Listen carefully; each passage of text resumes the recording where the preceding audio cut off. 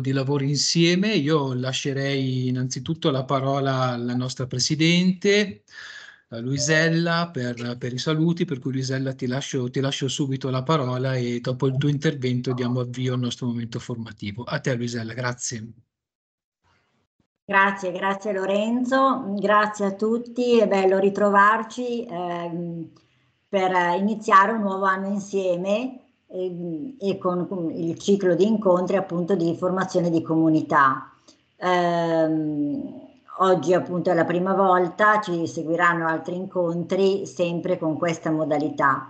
Però io volevo approfittare anche di questo momento eh, per uh, dirvi che abbiamo iniziato questa volta in presenza fisicamente il nostro viaggio come centro servizi di mm, volontariato nelle quattro province dei nostri territori.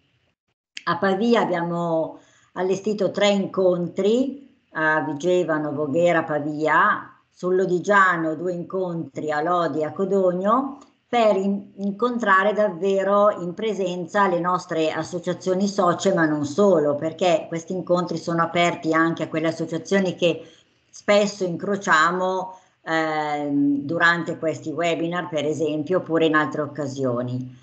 Eh, abbiamo deciso di fare questo viaggio, questo giro, eh, per diversi motivi. Adesso io non ve li racconterò tutti. Eh, il primo è sicuramente quello di ritrovarci in presenza in modo da riprendere un po' quelle relazioni che in questi due anni sono state interrotte, ma soprattutto anche per ascoltarvi, per metterci in dialogo con voi, per poter capire quali sono meglio le vostre esigenze, i vostri bisogni, ma anche le vostre osservazioni e riflessioni e portare un po' quella che è la visione de, che abbiamo maturato in questi anni come centro di servizio per il volontariato e presentare un po' quello che abbiamo chiamato a livello nazionale quello che è il manifesto dei centri servizi che in otto punti tocca alcuni temi che in questi anni abbiamo affrontato e che abbiamo condiviso con voi. Quindi ecco, mh, approfitto di questo momento anche per invitarvi a questi incontri che mh, a Cremona, sul Cremonese e sul Mantovano saranno in aprile perché sarà un bel momento di mh, incontro e di dialogo.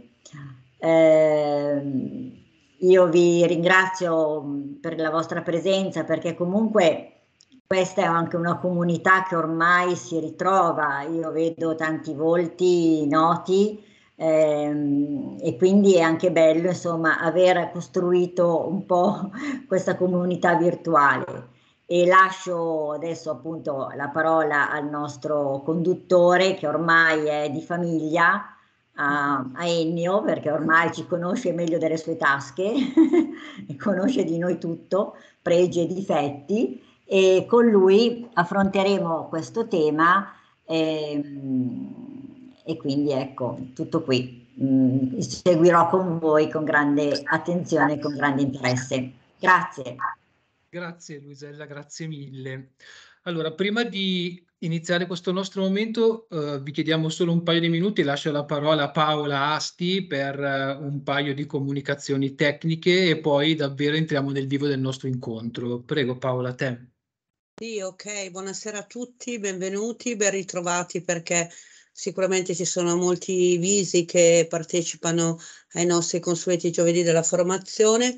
Eh, qualche notizia proprio tecnica. Per la prima volta eh, avete fatto l'iscrizione all'interno di MyCSV, eh, i risultati sono stati ottimi, visto il numero di accessi avete ricevuto una mail in cui ci sono una serie di spiegazioni, però velocemente vi ricordo che nel giro di un paio di giorni, cioè dateci il, il tempo, troverete nella vostra area riservata, ora vi spiego come, eh, il link alla registrazione. Non abbiamo chiesto l'autorizzazione alla registrazione questa sera, ma l'abbiamo data per scontata.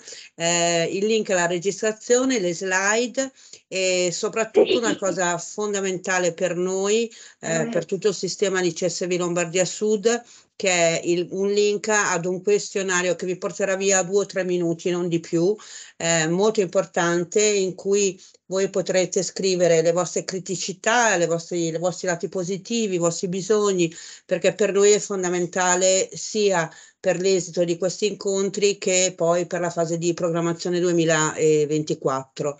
Um, per accedere è semplicissimo, eh, come avete fatto l'iscrizione basta entrare nella, nell'area riservata con la vostra user, la vostra password, eh, formazione, c'è proprio il box formazione, le mie attività, a quel punto troverete le, tutte le attività alle quali avete partecipato, cliccate su formazione di comunità, eh, le povertà ci riguardano, si apre un box e lì trovate tutti i documenti fermo restando che tutti gli operatori sia de, delle, dell'area che si occupa di animazione territoriale, ma comunque di tutte le altre aree sono a completa vostra disposizione. Quindi basta contattare l'operatore di riferimento della vostra provincia o comunque anche qualsiasi operatore de, di, di, altre province, quindi di Lodi, Cremona, Mantova, ci riconoscete adesso, eh, e Lodi ovviamente, ci riconoscete adesso perché abbiamo lo sfondo però eh, siamo in tanti e quindi siamo assolutamente a completa disposizione, non fatevi problemi. Se ci sono delle domande particolari alle quali voi mh, eh, avete necessità di risposta e questa sera non riuscirete ad avere un riscontro perché magari si fa un'ora certa, eh, potete tranquillamente metterle in, in chat e sarà premura degli operatori rispondervi senza problema. Vi auguro una buona serata e lascio la parola a Lorenzo e a Ennio. Grazie. Grazie mille Paola. Eh, direi a questo punto che possiamo entrare nel vivo del, del nostro momento di formazione. Eh, ringrazio ancora, vi ringraziamo ancora per, per, la partecipazione, soprattutto ringrazio Ennio Ripamonti che come sapete ormai sin dal 2001 oggi ci sta accompagnando all'interno di questi momenti di formazione di comunità. Uh, mi prendo qualche breve minuto per uh, raccontarvi come sarà organizzato questo nostro momento di formazione, per cui mh, inizialmente proverò io a restituirvi che cos'è la formazione di comunità che ha la sua ormai terza edizione, iniziata nel 2021 e proseguita nel 2022 e anche nel 2023 saranno previsti quattro incontri di formazione, questo sarà il primo e proverò anche a ricondividere con voi quella che è la sfida eh, della formazione di comunità per CSV Lombardia Sud. Poi lasceremo la parola a Ennio per il suo intervento attorno al tema oggetto dell'incontro di oggi, cioè le povertà ci riguardano eh, per lasciare poi un 30 minuti finali eh, più rivolti a possibili domande eh, o a riflessioni o condivisioni di alcuni aspetti che volete condividere o che volete meglio approfondire anche interpellando direttamente Ennio, quindi facendogli delle domande di approfondimento rispetto ad alcuni temi che, che introduce all'interno del momento di formazione. Entriamo nel vivo della, della formazione di comunità. Uh, che cos'è la formazione di comunità? Uh, la formazione di comunità è un ciclo di quattro incontri che abbiamo pensato come CSB per tutti quei soggetti, e parliamo degli enti del terzo settore, parliamo delle istituzioni, degli enti pubblici, dei piani di zona, dei cittadini, che nei vari territori vivono e abitano la comunità creano la comunità, operano per e con la comunità. Quindi quattro momenti di approfondimento aperti a tutti questi soggetti eh, a cui invitiamo alcuni esperti del settore che ci guideranno nella rilettura e comprensione dell'attuale contesto storico, provando ad aprire alcuni affondi attorno a temi e a questioni che abbiamo ragionato al nostro interno poter essere attuali. Per cui la formazione di comunità è un'occasione che come CSV abbiamo pensato di attivare ormai, per come vi dicevo, dal 2021, invitando e convocando tutti quei soggetti che stanno lavorando anche insieme a noi per provare a fronteggiare le complessità sociali che questo tempo ci sta mettendo di fronte, sentendoci tutti insieme parte di una sfida che ci piace dire ci riguarda un po' tutti. Uh, qual è la sfida che eh, guida l'idea della formazione di comunità. La sfida attorno a cui eh, vi proponiamo di allearci e attorno a cui ci proponiamo tutti di allearci è quindi quella di provare a rileggere il periodo dentro cui ci ritroviamo tutti ad operare, eh, convergendo tutti insieme attorno ad un obiettivo comune.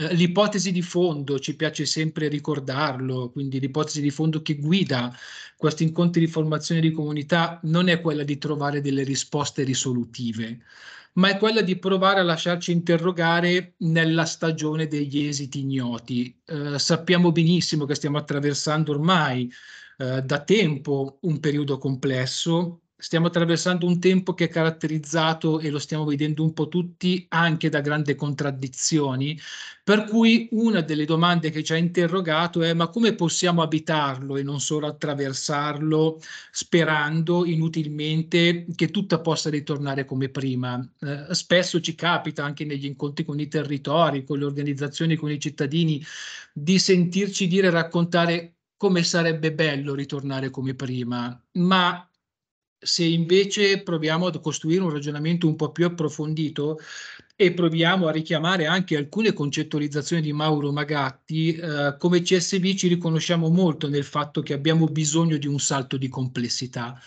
Che cosa significa? Significa che non possiamo immaginare di affrontare gli effetti collaterali dell'attuale fase storica rimanendo uguali a prima, continuando a fare le stesse cose che facevamo prima senza nemmeno provare in parte a metterli in discussione. E allora, eh, di fronte a quanto abbiamo vissuto e a quello che stiamo vivendo, di fronte alle complessità di questo momento storico che stiamo attraversando, eh, abbiamo spesso visto agirsi nel lavoro con i territori, anche nelle comunità locali, nel rapporto con le organizzazioni e con le reti, abbiamo spesso visto agirsi anche delle resistenze a cambiamenti importanti. Per questo crediamo che abbiamo un po' tutti, noi compresi come operatori di CSV, bisogno di nuovi apprendimenti e di cambiamenti istituzionali ed operativi e quando parliamo di cambi di apprendimenti e cambiamenti istituzionali operativi li immaginiamo maggiormente adeguati al tempo che stiamo attraversando.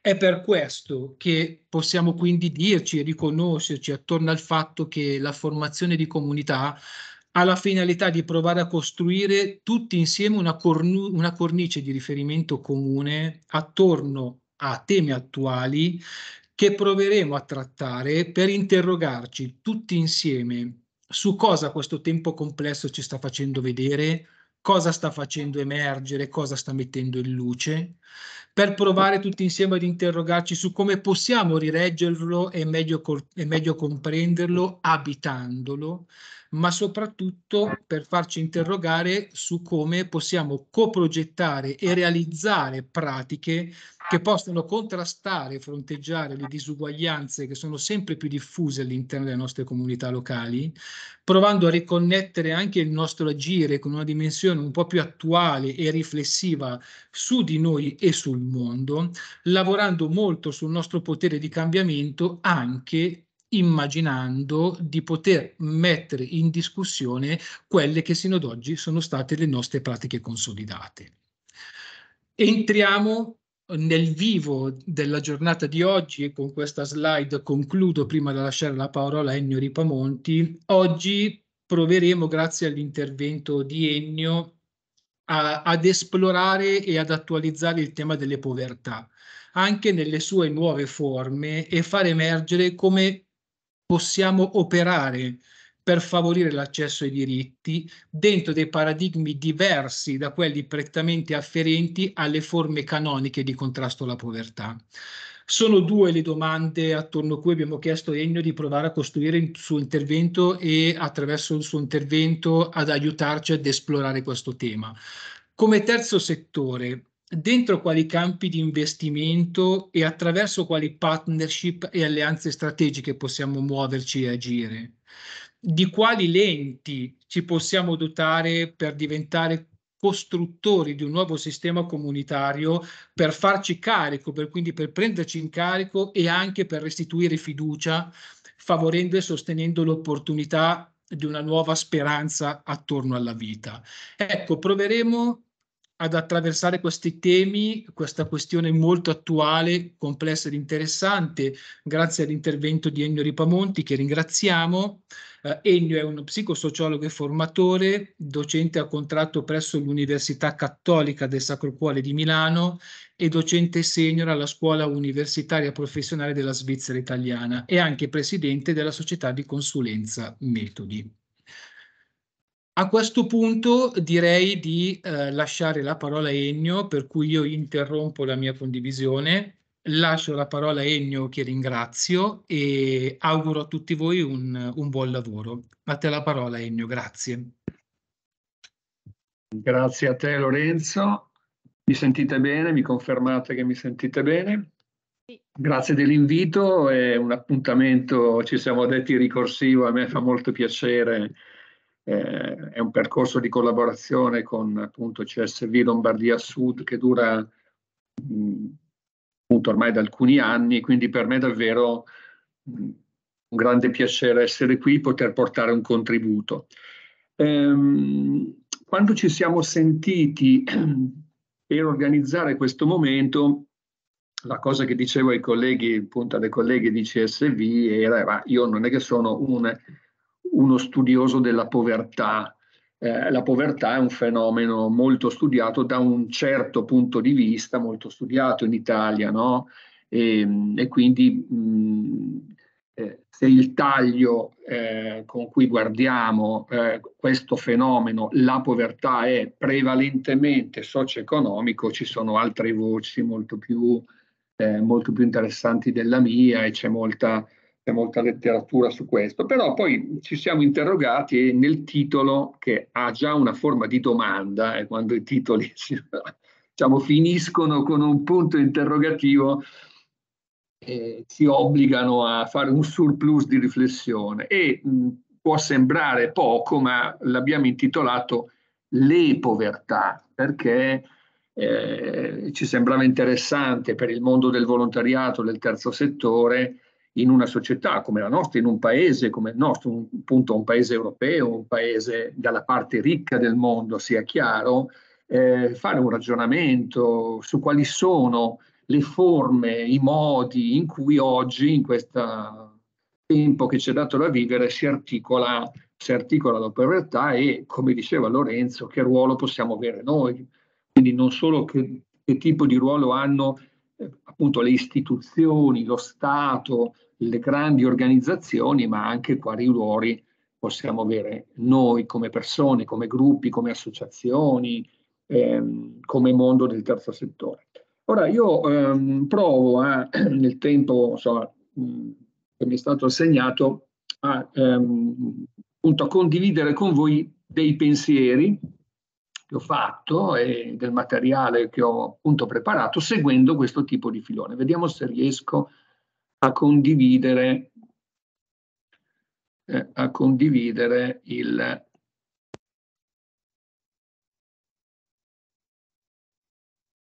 scusate,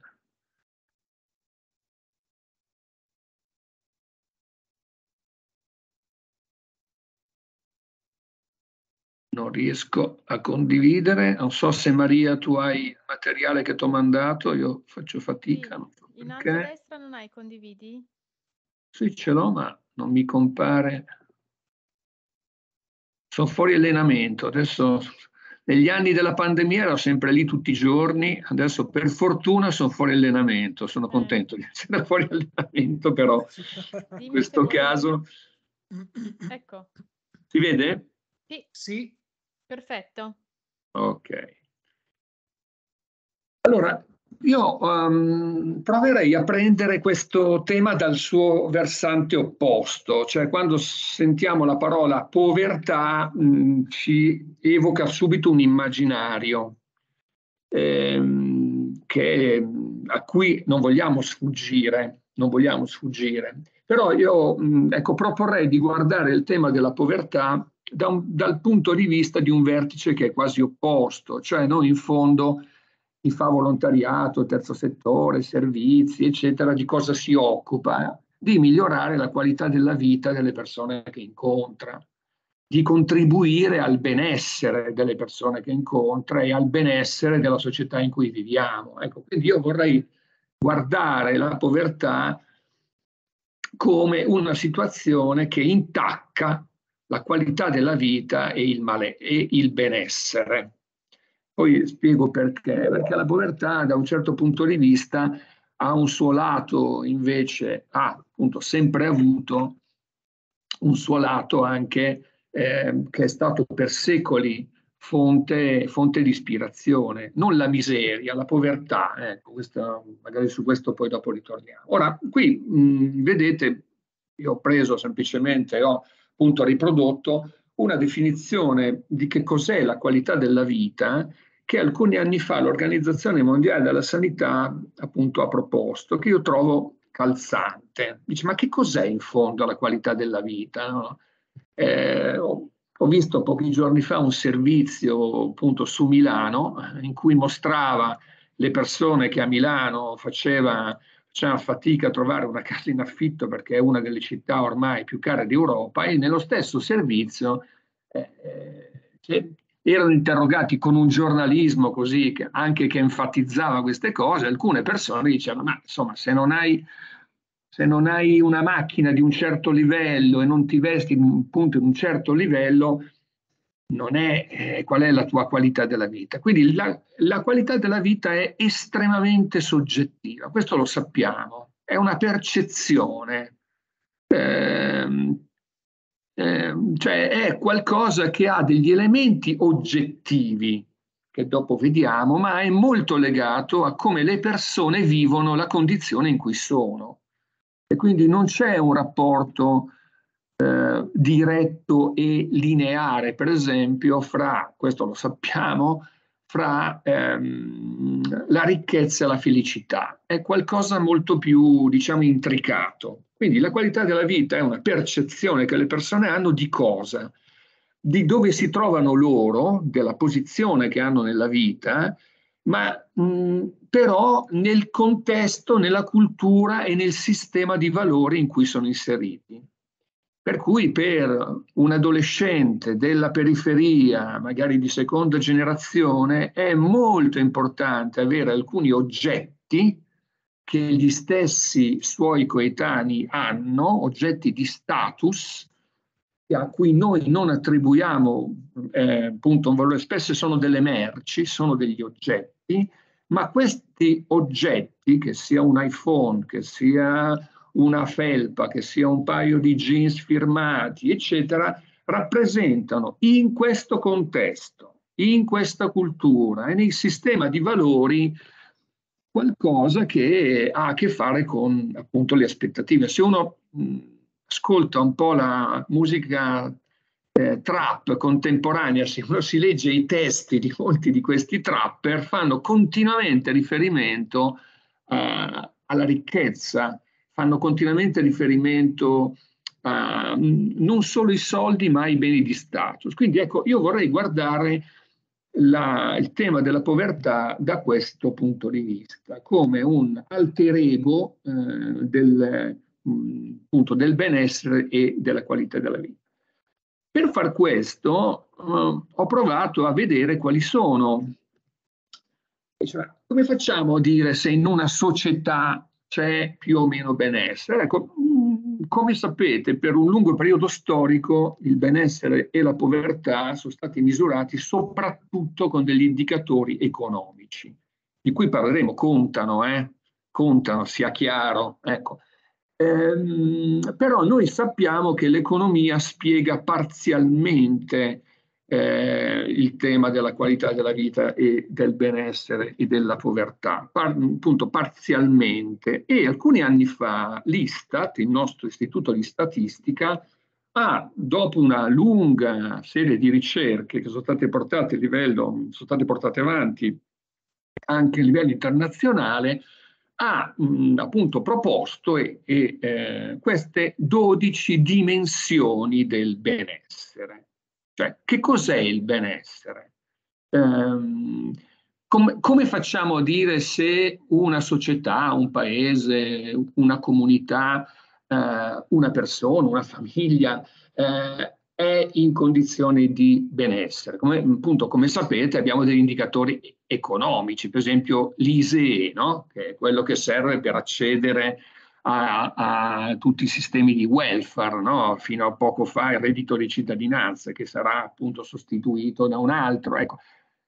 Qui mh, queste 12 dimensioni ci aiutano mh, nel loro posto a intravedere, secondo me, le forme della povertà.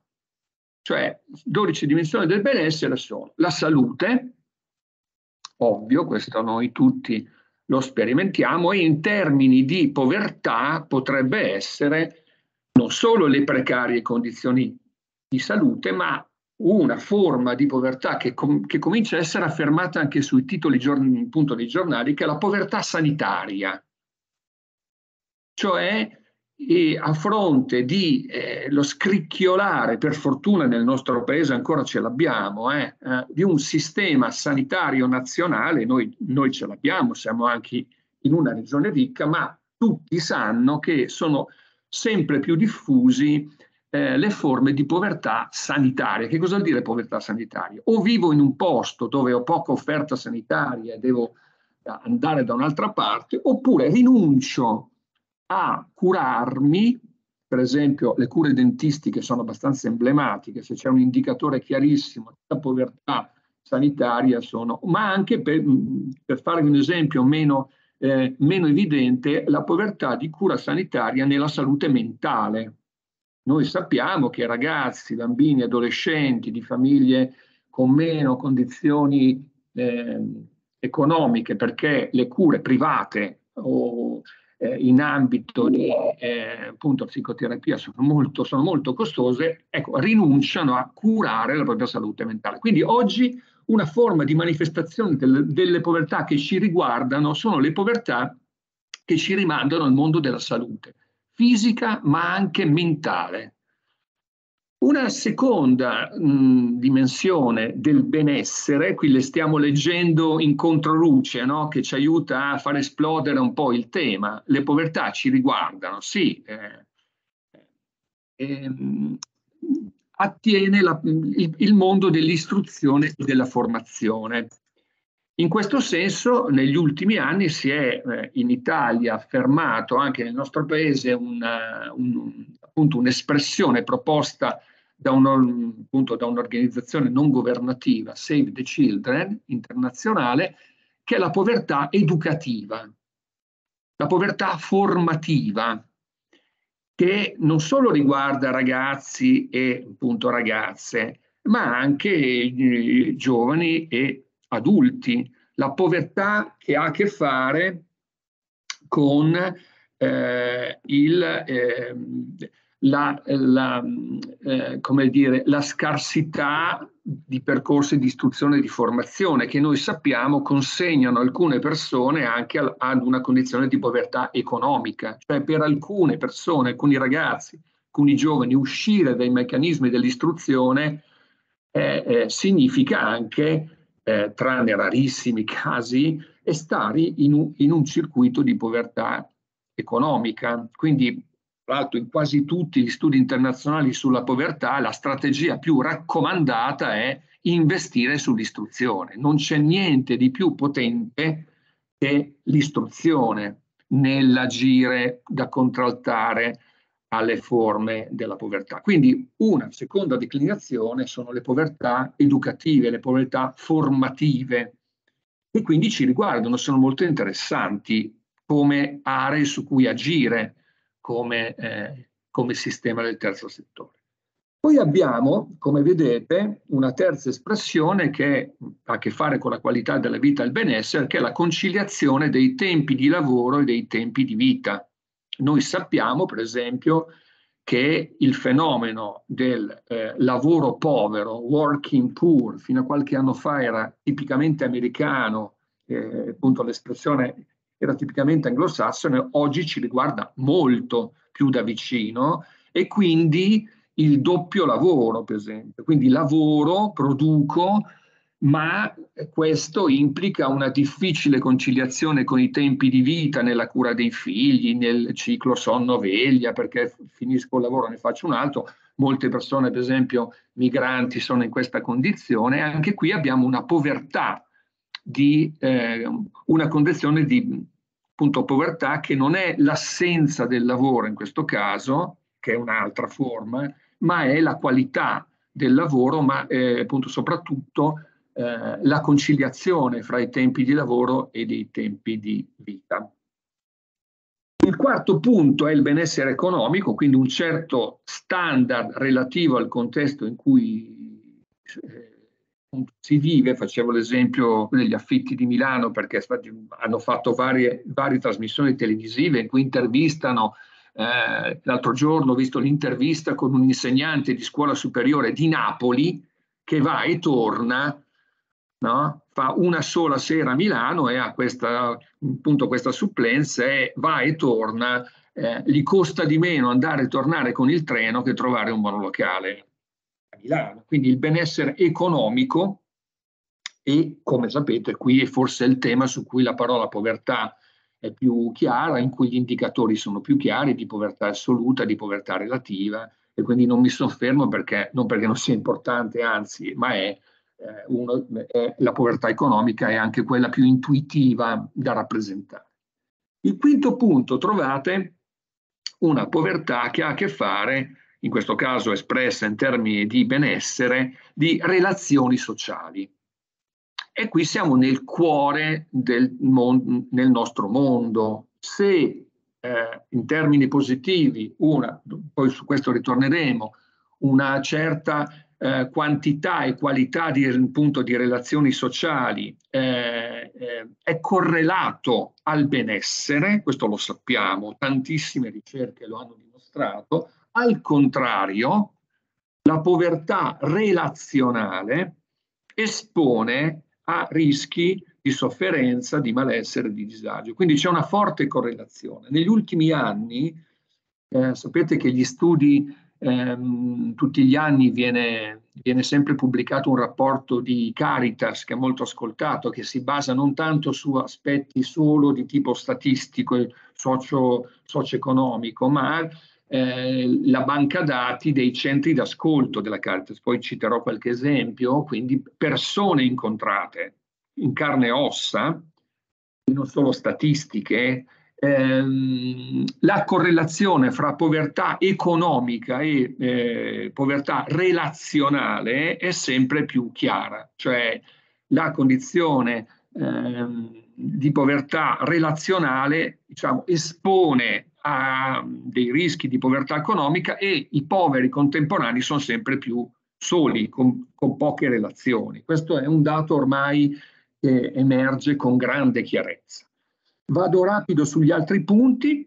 Eh, politica e istituzioni vuol dire essere in un contesto in cui c'è democrazia, eh, c'è accesso al, appunto, ci sono delle istituzioni ed è, sono delle istituzioni democratiche, il nostro paese eh, è ovviamente un paese che ha delle istituzioni democratiche, ma come sapete e come evidente eh, non è uguale in tutte le sue parti. Ci sono persone che vivono in contesti di povertà democratica, di povertà istituzionale eh, in contesti dove c'è un forte tasso di corruzione, dove le istituzioni sono infiltrate, dove c'è, insomma, questo non è qualcosa che non c'entra con il nostro tema. Ecco, certo che questo riguarda di più alcune regioni, alcune aree del paese, ma anche alcuni comuni dell'Inter milanese sono stati sciolti per mafia, per infiltrazione. Certo che non ci viene in mente la parola povertà, ma il benessere di una politica sana e di istituzioni sane e rappresentative, eh, ecco, la bassissima percentuale di persone che hanno votato alle ultime elezioni regionali eh, suona un campanello d'allarme da questo punto di vista, secondo me, e quindi abbiamo anche dei fenomeni di povertà di rappresentanza politica, di rappresentanza di cittadinanza, su cui interessante riflettere. La sicurezza, ha a che fare con la qualità della vita, ma al contrario, ci sono contesti dove la sicurezza è precaria, dove eh, posso vivere in contesti pericolosi, soprattutto se sono, se sono una donna, eh, se, sono, uh, se, se sono una persona vulnerabile. Quindi anche qui troviamo degli elementi che ci aiutano a far esplodere il tema. Benessere soggettivo, e qui c'è tutta la dimensione più come dire, psicologica del rapporto con, appunto con, con se stessi, che ha a che fare, no? quindi ci sono persone che vivono oggettivamente le stesse condizioni di precarietà, di salari insufficienti e di fatica, ma eh, come, come dire, riescono a eh, poi sviluppare una, una, forma di resilienza. Altre persone eh, stanno male e quindi producono, in cui la povertà di qualche altro tipo appunto, produce anche una sofferenza. C'è anche una povertà che riguarda il paesaggio e il patrimonio culturale, una povertà proprio vivere in una periferia degradata, circondata da ambienti brutti, circondata da bruttezza, circondata da o vivere in un luogo eh, con, una, con, un ambiente curato fa la differenza, sia in qualità della vita e in, in benessere, l'impatto positivo, quindi da un certo punto di vista una certa povertà economica in un contesto però ehm, che è più ricco dal punto di vista paesaggistico, culturale, compensa, anche se non sostituisce, e al contrario, diciamo, la desolazione, la povertà proprio paesaggistica eh, di alcuni ambienti e di alcune e di alcuni contesti, tipi, appunto tipicamente nel, nel, nelle grandi aree urbane, eh, su questo anche qui abbiamo degli studi sul rapporto fra queste dimensioni e il benessere o il malessere. Da ultimo, vedete, l'ambiente, anche qui abbiamo in questo momento crisi che, che eh, appunto riguardano l'ambiente, la crisi idrica per esempio, quindi abbiamo una povertà di risorse che, che può riguardare maggiormente persone e si parla a livello globale di poveri eh, e anche di migranti climatici, ambientali. Io posso appunto, vivere in un contesto che diventa sempre più, sempre più vivibile. Ecco, non è il nostro caso oggi qua, però sicuramente la qualità dell'ambiente in cui si vive, oppure pensate banalmente a eh, vivere in un contesto con un alto tasso di inquinamento. Spesso le persone che vivono in condizioni di maggiore marginalità vivono, vivono, anche in contesti che sono maggiormente degradati dal punto di vista appunto ambientale. E da ultimo, vedete, povertà nel senso della ricerca dell'innovazione oppure della qualità dei servizi. Vivono in un contesto con pochi servizi. Ecco, eh, ho pensato di proporre questo per far esplodere il tema della povertà e di diciamo, vederla in modo un pochino più panoramico e quindi ognuno potrebbe soffermarsi. Adesso io andrò, andrò rapido, vado avanti, non voglio soffermarmi su questo, ma eh, sicuramente la povertà economica è forse quella che riusciamo a visualizzarci con più chiarezza, ma sono molti fattori, eh, le, le forme di povertà che ci riguardano.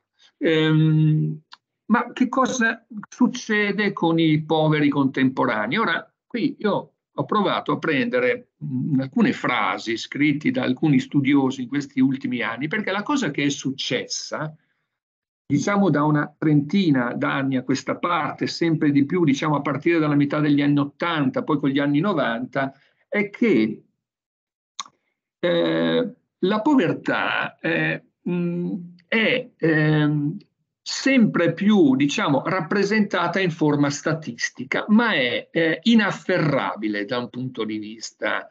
Eh, cioè, mentre abbiamo avuto, volete anche, non so, facciamo l'esempio di un paese povero come l'Italia nel dopoguerra, ecco, le storie dei poveri del dopoguerra hanno prodotto il neorealismo, cioè se uno guarda, si guarda Shusha, se uno si guarda eh, il cinema di De Sica, di Pasolini, ehm, sono storie di riscatto o si legge romanzi, che ne so, di Moravia, di Pasolini, quindi cioè, in qualche misura eh, l'uscita dalla povertà, il, il, la, la, conquista eh, di una propria emancipazione aveva dietro una narrazione, aveva dietro una cultura ecco, che oggi non c'è più. Cioè il, po, il, la condizione di povertà è inafferrabile, è solo rappresentata da un punto di vista statistico e le storie dei poveri alla fine non interessa più nessuno. Sono al contrario, hanno molto successo, eh, a me è capitato di vederlo qualche anno fa, mi hanno suggerito di vedere un, un, format, tele, un format televisivo che si intitola Riccanza, Riccanza, che è la storia dei figli dei ricchi, la storia di, quindi come dire, mh, mm, è, mm, le storie che vogliamo sentire oggi o che sono raccontate sono le storie di successo, sono le storie dei ricchi, sono le storie dei belli, sono le storie dei. Quindi in qualche misura, e qui c'è una, una, questo articolo di Berger, che è un famoso scrittore, che dice eh, collettivamente i, i, i, i poveri sono inafferrabili. Oltre a essere la maggioranza del pianeta, sono dappertutto e anche il più piccolo evento parla di loro. Ecco perché oggi l'attività fondamentale dei ricchi è costruire muri.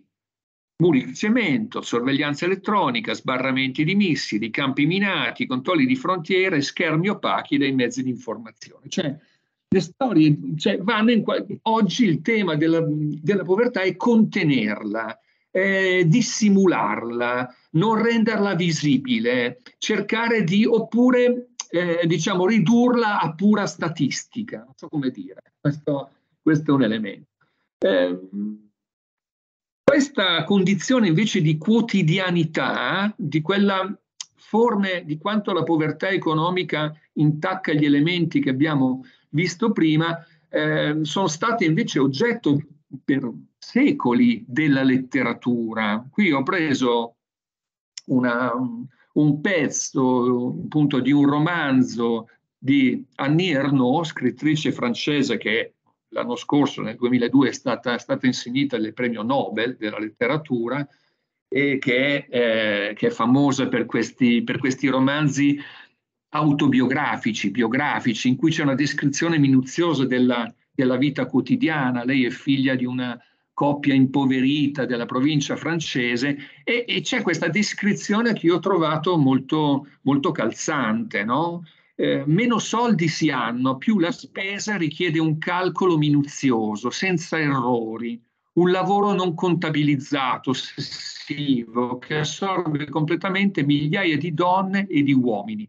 L'inizio della ricchezza, della sua leggerezza, si può riassumere così servirsi in un reparto di prodotti alimentari senza guardare il prezzo, l'umiliazione inflitta dalle merci.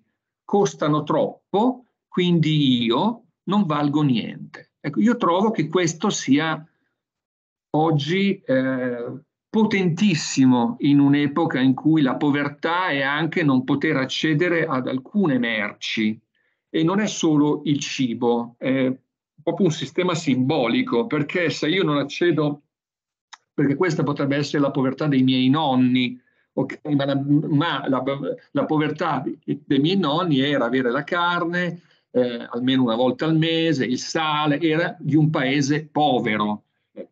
E qui la povertà, quando entri in un grande supermercato, è in, invece l'orgia del cibo, è come dire, la, lo spettacolo seduttivo delle merci che non sono alla mia, um, alla mia portata. Ci sono degli esempi, per esempio, di alcune persone che rubano nei supermercati delle merci di status e chi dice no, no eh, non è che ha rubato il pane per mangiare, no? Si è preso la, la cosa sfiziosa, ecco, ma perché si è preso questa cosa sfiziosa? No? Perché il non accedere a quelle merci significa non accedere non solo a quell'oggetto, ma anche un'immagine di me, perché le merci infliggono, qui ci dice Annie Ernaux, infliggono appunto un'umiliazione e quindi la povertà si misura in questo. Io lo trovo molto, molto potente questo tipo, questo tipo di immaginario. Ecco. Ehm, Ecco, di recente, proprio l'anno scorso, questa, questa sociologa Antonella Meo ha scritto questo libretto, questo libro, molto bello, molto, anche se un po' inquietante da certo punto di vista, che si intitola Disciplinare i poveri. Perché se è vero che la povertà aumenta quantitativamente, anche se è eh, appunto circoscritta una certa percentuale, appunto sono percentuali, non sono persone, ehm, quello che, può, quello che sta succedendo in questo momento storico, come ci ha detto Berger, è che viene rappresentato prevalentemente come un problema da risolvere. Quindi è, è, è, privato di qualsiasi soggettività, è un problema da risolvere. Quindi i poveri come persone sono soggetti da gestire e da governare. Ehm, per cui, per esempio, dice appunto Antonella Meo che eh, le forme di sostegno alla povertà anche sono piene di regole in cui ti dicono cosa puoi comprare, cosa non puoi comprare, questo sì, questo no, che seppur eh, in teoria dovrebbero rispondere ad un principio di efficacia e di efficienza, in realtà hanno dentro un, diciamo, uso un'espressione un po' forte, un segreto disprezzo. Ecco, è come se eh, in fondo queste politiche contengono un segreto disprezzo, perché la povertà non ha niente da dirci, non, è, mm, non, ha niente a che fare con Buddha, non ha niente a che fare con Cristo, non ha niente a che fare con San Francesco, siamo in un'epoca in cui la povertà, anche nella sua forma, eh, appunto se volete, di sobrietà, è come se non avesse più niente da dirci come esseri umani. Ecco, quindi qui c'è anche una questione se me la concedete, quasi, quasi filosofica. Quindi quello che noi, noi dobbiamo eh, appunto guardare è la vita dei ricchi. È lì sì che, e quindi infatti i, diciamo, i rotocalchi, eh, quando accompagno mia madre a fare la spesa, c'è questo enorme, appunto in questo supermercato, eh, pannello pieno di rotocalchi e nel, nel, che eh, vendono tantissimo, scoperto appunto questi rotocalchi e raccontano la vita meravigliosa dei ricchi, di quelli che hanno successo e questi rotocalchi da chi sono letti? Prevalentemente dai poveri. Ecco, e quindi trovo in questo qualcosa su cui noi, noi abbiamo bisogno di riflettere, eh, tutti noi abbiamo bisogno di riflettere. Vado verso la parte, se volete, più appunto canonica, cercherò di stare nei tempi, vedete l'argomento eh, si presta. Ora, questo è, ve la consiglio, si scarica facilmente da internet, eh, è l'ultimo, l'ultimo, rapporto che ha fatto Caritas Italiana, quello che dicevo prima, Caritas Italiana è un, eh, assolutamente una delle realtà che tutti gli anni sforna questi, questi rapporti sulla povertà e sull'esclusione eh, sociale, vedete che due fenomeni, e qui troviamo alcune cose interessanti. Da un lato qualcosa che noi sappiamo, un fenomeno che cresce, questo lo sappiamo, sappiamo che cresce eh, però, vedete, percentualmente fra i lavoratori, questo è molto, mm, quindi che aumenta il fenomeno del lavoro povero, quindi non della povertà del lavoro, ma del lavoro povero, quindi io lavoro ma non ce la faccio, e, ehm, ed è un fenomeno che ha um, dei suoi profili che sono abbastanza chiari. Per esempio, vedete la correlazione fra povertà e bassi titoli di studio, eh, la prevalenza nel nord di persone migranti o nel sud invece aumenta la percentuale invece appunto di persone italiane. Eh, molti hanno figli piccoli eh, vivono in abitazioni in affitto. La casa è uno dei beni che maggiormente in, eh, ha a che fare con questo, con questo tema. Eh, c'è un aumento eh, del, eh, appunto dei lavoratori eh, poveri. Ecco, questo mh, mm, per dare un quadro, se volete. Ecco. sempre correlato a questo tema, eh, trovo mh, mm, che sia interessante in questa ricerca e in altre eh, la questione della intergenerazionalità. Cosa vuol dire? Qui ho preso una frase tratta da Pinocchio di Collodi, vedete, in un'Italia poverissima, poverissima, quella della fine dell'Ottocento, no? che è una frase eh, tratta da questo capolavoro della nostra letteratura, no? che eh, viene, viene, raccontata come letteratura per l'infanzia, in realtà è una grandissima narrazione di un paese. Quindi Mangiafoco chiama in disparte Pinocchio e gli domandò, come si chiama tuo padre? Geppetto. E che mestiere fa? Il povero.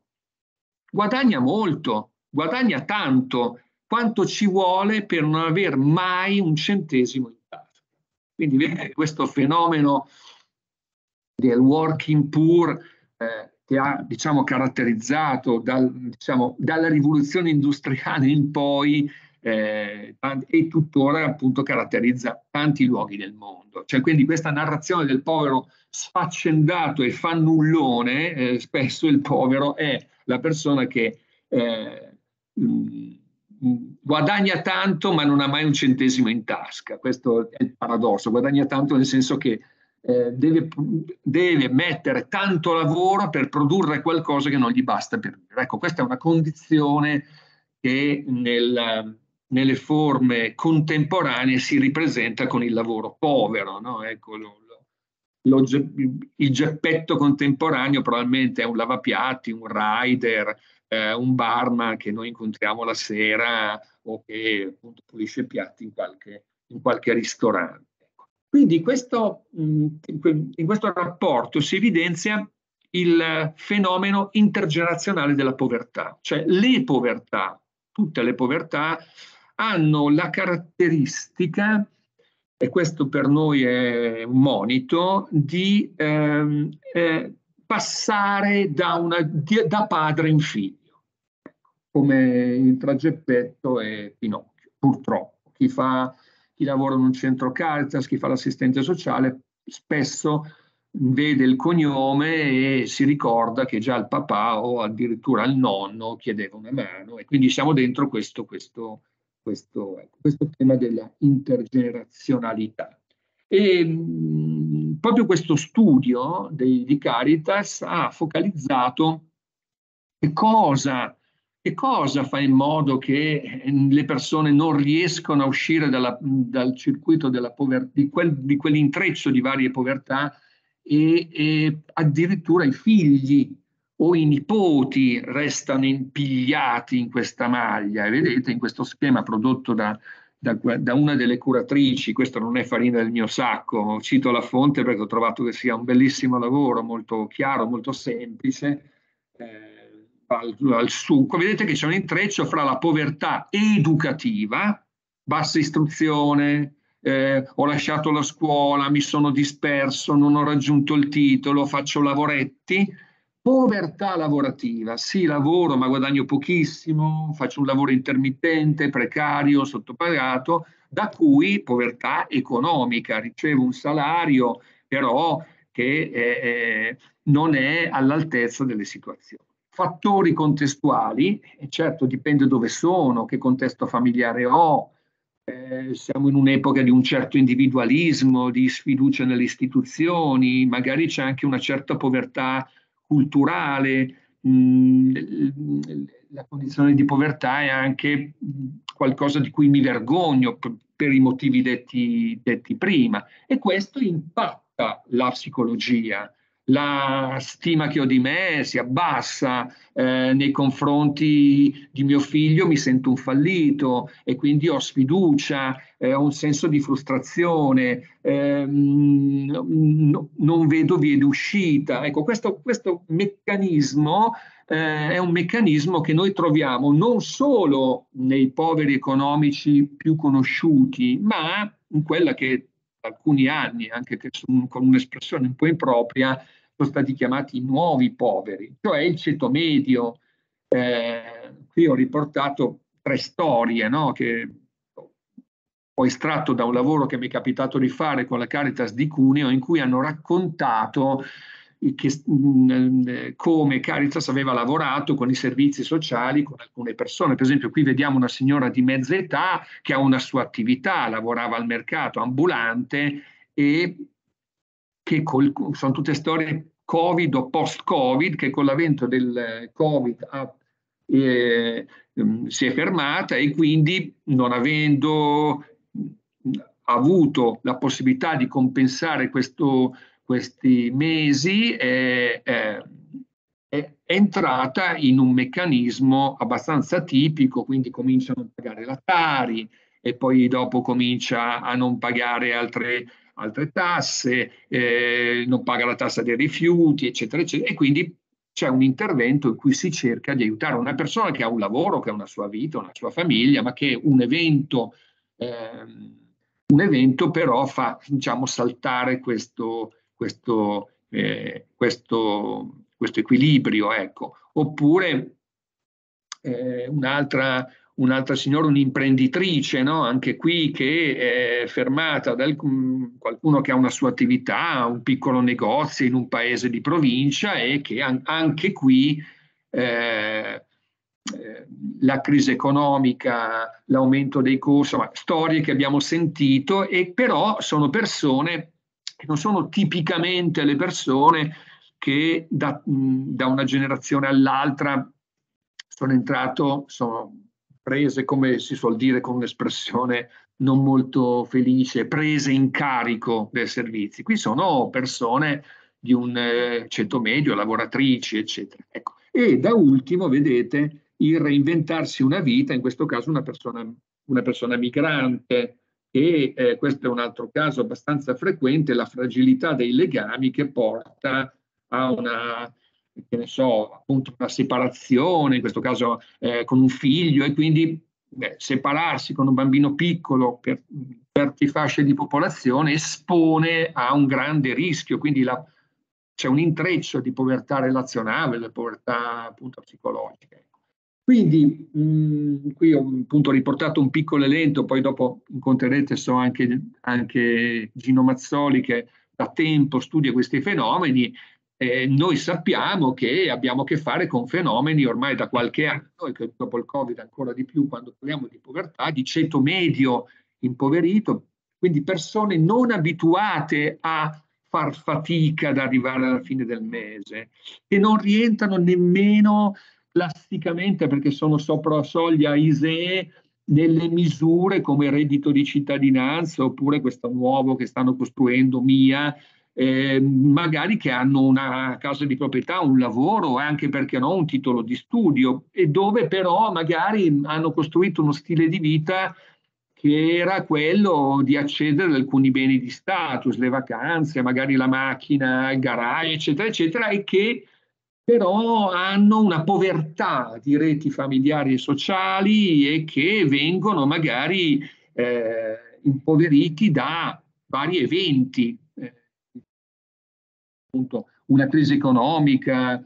il Covid, eh, piuttosto che altri aspetti, e quindi con sentimenti che sono dalla vergogna al risentimento. Ecco, questi, questo è un qualcosa eh, eh, oggi eh, eh, vado verso la conclusione per dire, ma allora noi, cioè chi non si occupa professionalmente di politiche di contrasto alla povertà, uno fa l'assistente sociale, fa, lavora nei servizi e quindi conosce i, le misure che via via nelle politiche pubbliche, eccetera. Ma come si diceva prima, ma che ruolo ha il terzo settore, l'associazionismo, il volontariato? Allora, Ora, qua secondo me il cuore di questa faccenda io lo vedrei nel mitigare un fenomeno che è molto, molto diciamo, appunto importante, che è l'isolamento e la solitudine. Cioè le crisi nei percorsi, in contesti magari dove c'è già una certa povertà, ehm, eh, si fa fatica, insomma una, certa povertà economica oppure culturale oppure ambientale o di tipo sanitario che abbiamo visto prima, ecco qui noi sappiamo che l'isolamento, che è una condizione oggettiva, eh, essere isolati vuol dire sta, eh, non in, appunto, intrattenere pochi contatti sociali, ma noi sappiamo che la cosa più eh, forte è il sentimento della solitudine, quindi il sentirsi soli, nei, quando si è in una condizione di povertà di salute, di denaro, di risorse, di legami, espone a un dolore, che possiamo chiamare così, proprio dolore sociale, che diminuisce la capacità appunto di reagire, quindi si entra in una spirale di tipo involutivo.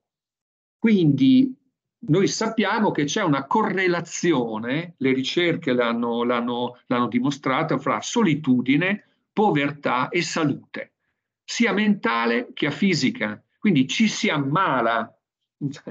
eh, quindi aumenta il livello di vulnerabilità, ehm, quindi la capacità di autoregolare le emozioni eh, si attenua e eh, le, appunto, le aspettative e le rappresentazioni mentali eh, mutano e quindi qui abbiamo proprio una correlazione. Per questo motivo, e vado verso la parte conclusiva, eh, noi possiamo, secondo me, tessere legami eh, facendo quello che facciamo già, ma diciamo rinforzando eh, le reti di sostegno intorno, intorno, alle persone in difficoltà, quindi non solo nella forma dell'aiuto economico in senso stretto, che, che è comunque necessario, ma è molto molto importante attenuare gli effetti negativi dello stress. In molte di queste ricerche appare evidente che la persona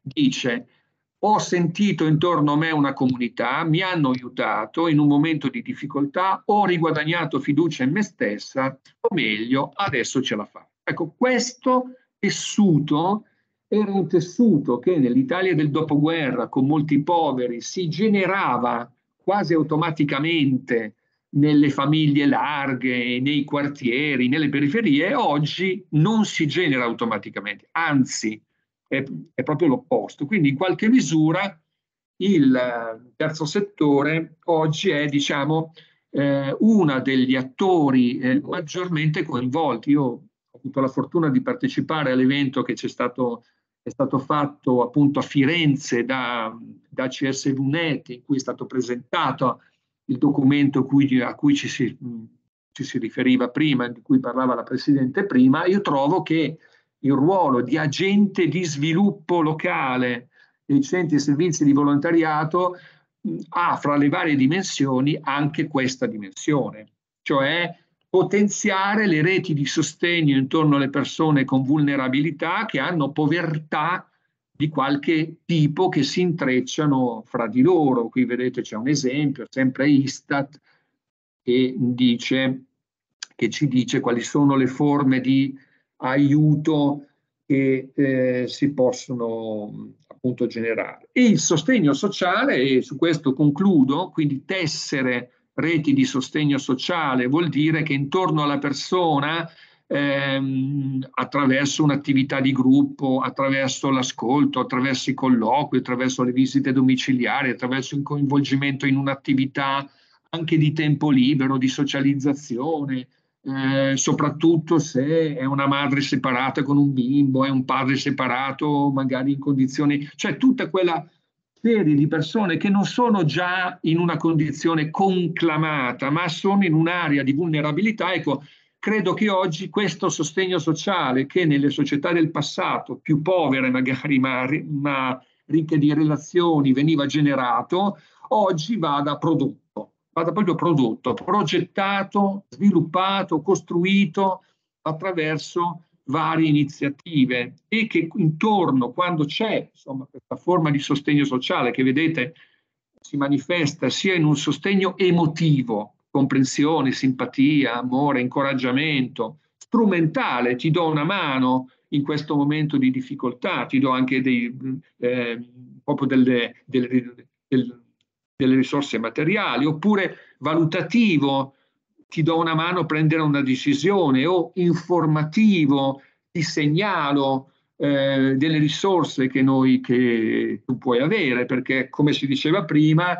nel circuito della povertà, del, delle povertà, eh, mi posso trovare in una povertà informativa, cioè potrei accedere a una risorsa ma non lo so, non leggo, non mi informo, non guardo eh, su internet che cosa è uscito, oppure prendo decisioni che non sono ben ponderate o sono solo dal punto di vista emotivo. Ecco, quindi le reti di sostegno sono questo, non sono solo una dimensione squisitamente psicologica, sono una dimensione emotiva, strumentale, valutativa e informativa. E le reti di sostegno sociale sono, secondo me, oggi ampiamente ehm, il focus su cui po- si può ingaggiare eh, oggi un'organizzazione di volontariato o un ente del terzo settore.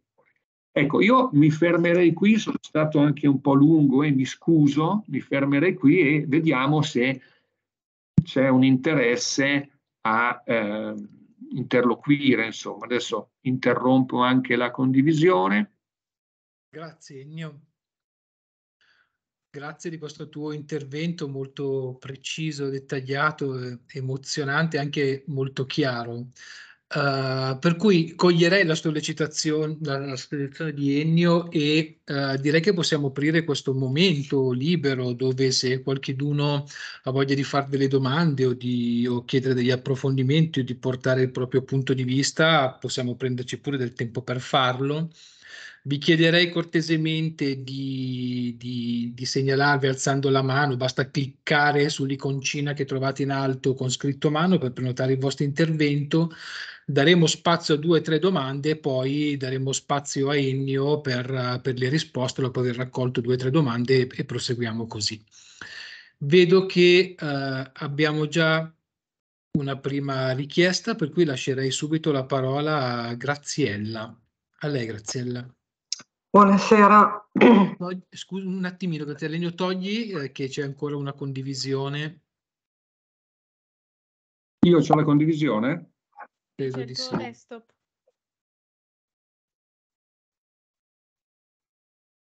Ok? Grazie, perfetto. Prego, Graziella. Sì, grazie, brevemente. Uh, Intanto grazie, io sono una consigliere comunale di minoranza, però in passato sono stata anche assessore ai servizi alla persona e eh, ho riconosciuto, diciamo, in alcuni degli interventi che insieme ad alcuni enti del terzo settore avevo portato avanti proprio nella direzione di eh, so, si parla tanto no, di presa in carico delle persone fragili, però non soltanto dal punto di vista economico, ma con una visione proprio eh, di insieme nel tentare di gestire i loro problemi.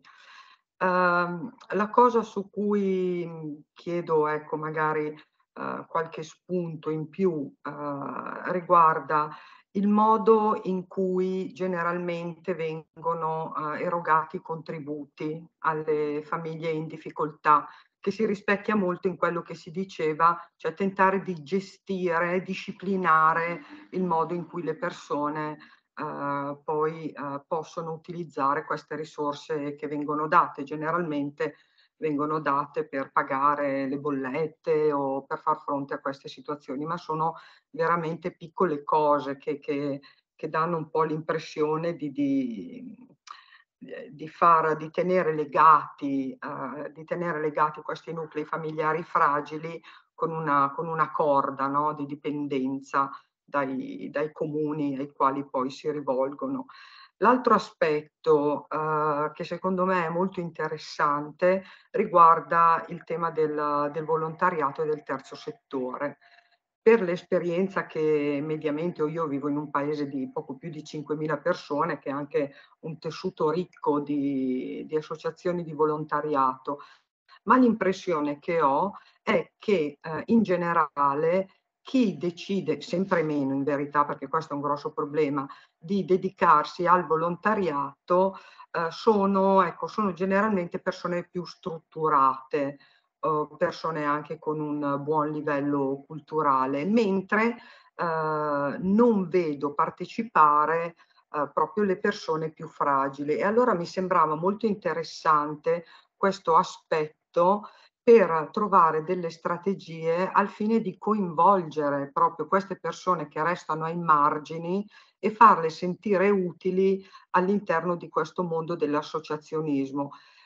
Per superare eh, anche la difficoltà di chi eh, dice, ma io sono una persona che ha bisogno di avere, non una, una persona che ha bisogno di dare, non ho, non ho, tempo di dare, non riesco a dare perché sono io il primo ad avere bisogno.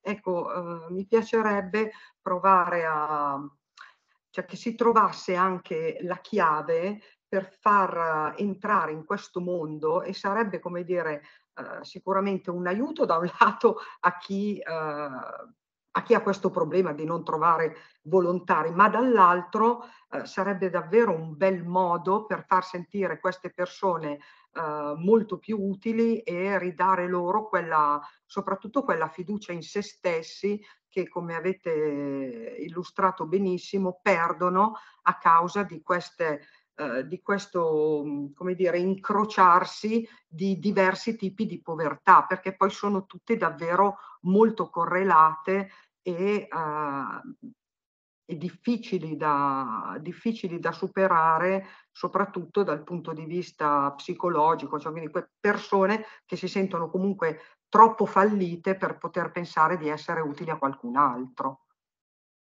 Grazie. Grazie, grazie a lei.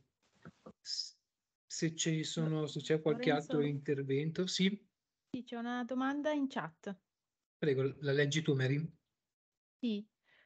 Non so se a meno che voglia leggerla Livia. Ehm... Ok, no.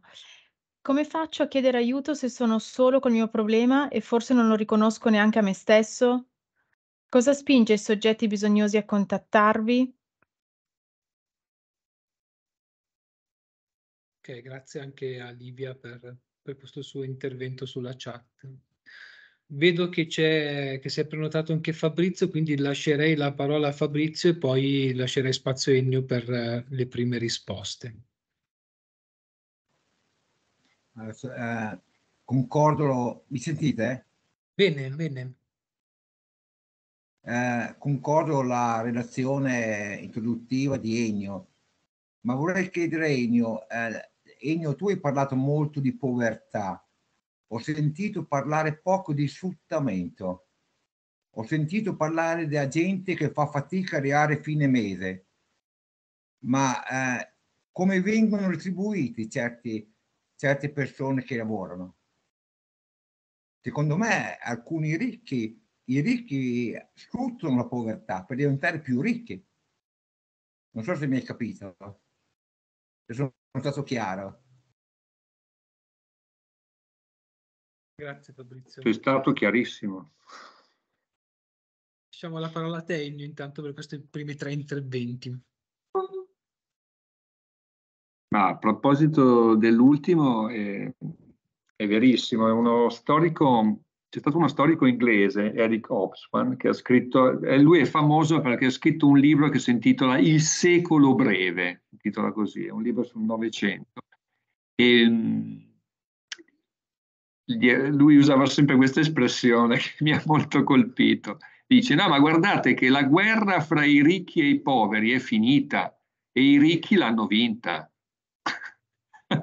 Io trovo questa nella sua brutalità, questa espressione di Hobsbawm centrale, cioè adesso fuori, fuori di metafora, cioè è chiaro che questo tema eh, della ricchezza e della povertà, io non ho voluto impostarle in quel modo, chiama dentro anche una dimensione di sfruttamento, non c'è dubbio. Per esempio c'è eh, un sociologo italiano, Luca Ricolfi, che ha um, pochi anni fa scritto un testo che si intitola La società signorile di massa, titola così e dice, lui in luce queste caratteristiche dell'Italia proprio contemporanea, dice, ehm, quello che conta è, or, ormai oggi, eh, chi può fruire della ricchezza accumulata dai padri o dai nonni, ma non delle grandi ricchezze, anche la casa di proprietà, eh?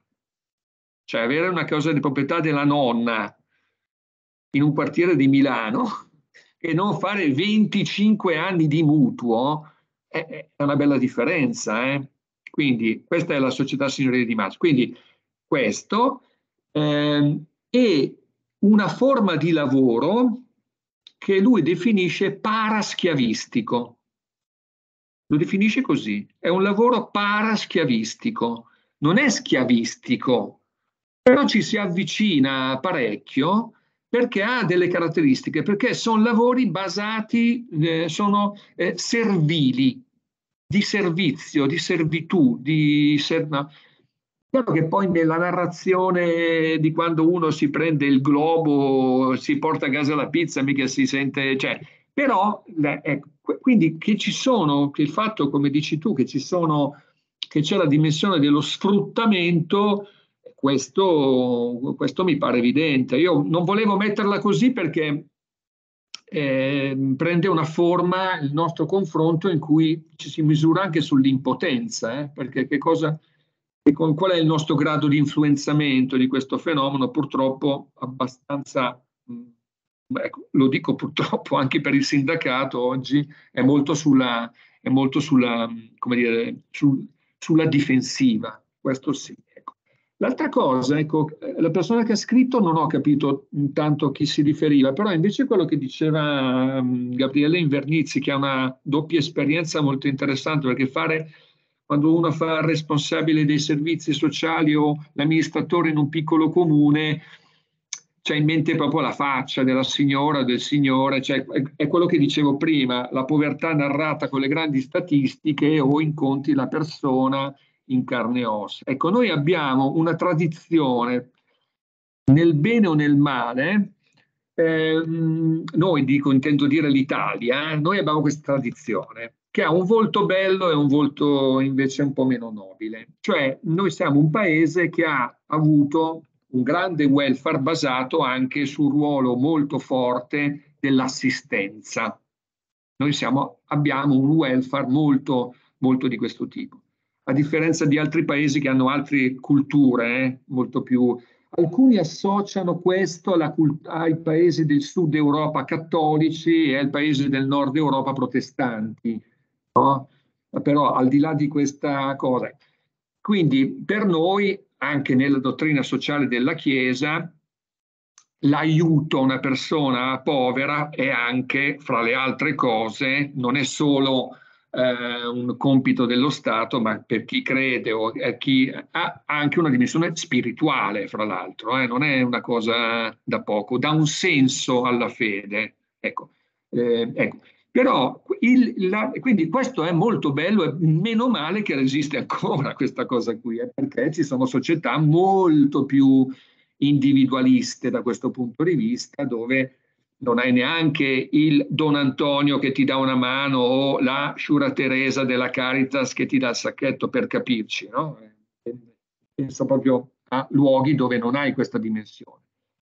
Però l'altro versante, un po' meno, su cui fra l'altro lo stesso Papa insiste molto, sono i limiti di una degenerazione dell'assistenza, che è l'assistenzialismo, che è molto studiato, è stato molto studiato l'assistenzialismo. Che cos'è l'assistenzialismo?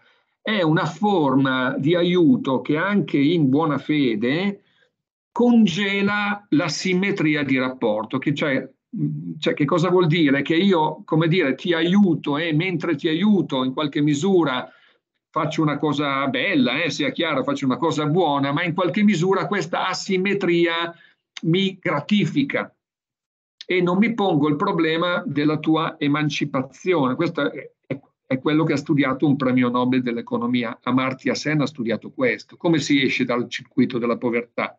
Con il, negli studi sul microcredito eh, per esempio, è eh, piuttosto che assistere, promuovere, cioè dare dei prestiti che sono relativi a un'attività. Quello che diceva Gabriele è vero, alcune persone proprio perché si sentono, mi sono scritto la frase, troppo fallita per poter fare qualcosa, ehm, il punto di partenza è questo. Però, lo dico in senso positivo, in Italia ormai sono molte le sperimentazioni, sono veramente tante, di eh, welfare generativo, cioè eh, in cui l'operatore e l'operatrice hanno, sono state sperimentate mh, mm, ormai da alcuni anni, alcune so, hanno anche fatto scuola, in Piemonte ce ne sono molte, ehm, appunto di servizi sociali in cui non con tutte le persone, dipende con chi sto parlando, però propongo, propongo oltre, io, come dire, io ti aiuto, io ti sostengo, sono al tuo fianco, ti accompagno, però dammi una mano il pomeriggio a mettere a posto i libri in biblioteca. Dammi una mano giovedì con i bambini che ci sono. Queste vanno un po' pensate, personalizzate. E io ho proprio conosciuto, ho fatto un incontro, un focus group con alcune di queste signore che avevano partecipato a questi programmi di welfare generativo che eh, avevano notevolmente mutato l'immagine di sé e avevano significativamente mutato la percezione della propria autostima, proprio quella roba lì. Sono troppo fallita per poter evitare, per poter fare qualsiasi cosa. Io posso solo essere assistita, non posso fare altro, non sono capace di fare niente. Questo lo dicono anche i ragazzi in povertà educativa. Eh. Tanto a me li bocciano, cosa studio a fare? cioè come se fosse un, un destino segnato. Ecco.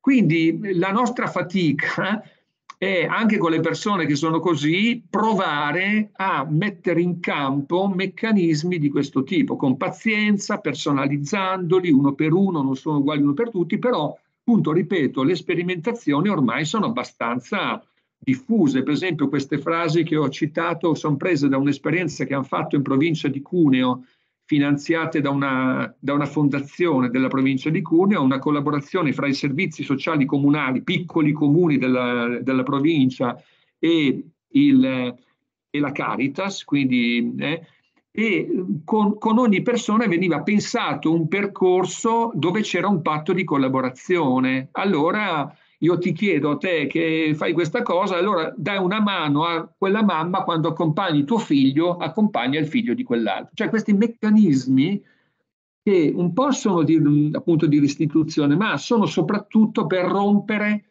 questa narrazione di sé che è, che è tremenda perché non esci da quella roba lì. Poi dopo si struttura, tuo figlio, tua figlia respira questo, questo tuo fallimento e tu ne hai vergogna e a volte lo replica. Eh, quindi secondo me è una, è una, consapevolezza che abbiamo oggi, fino a anni fa non era così. E, e, e, mh, e ci sono delle esperienze che appunto dimostrano che si, con pazienza, cambiando la cultura dell'assistenza e mh, cercando di adeguarla al mondo in cui siamo, all'epoca in cui siamo, si possono creare dei meccanismi emancipativi, ecco, chiamiamoli così.